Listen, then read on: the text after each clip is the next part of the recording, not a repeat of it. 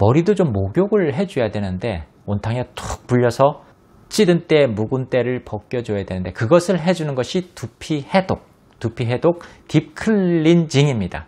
일주일에 한 번이나 두 번 정도 아 내가 한 30분 후에 머리 감는다. 그러면 그냥 뿌려주면 됩니다. 뭐 머리를 씻은 다음에 뿌리는 거 아니고요. 그냥 뭐 헤어 스프레이가 있건 뭐가 있건 뭐 때가 묻었건 흙이 묻었건 그냥 뿌려둡니다. 전체 해가지고 그냥 막 문질러 두고요.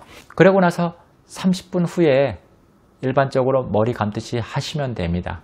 꼭 어른들만 사용하는 거 아니고요. 난 탈모가 있으신 분, 뿐만이 아니라 머리가 있으신 분은 머리털이 있는 분들은 다 사용해 보십시오. 그러면은 하시고 나면은 아 이래서 두피 해독이 필요하구나라는 것을 느끼게 됩니다.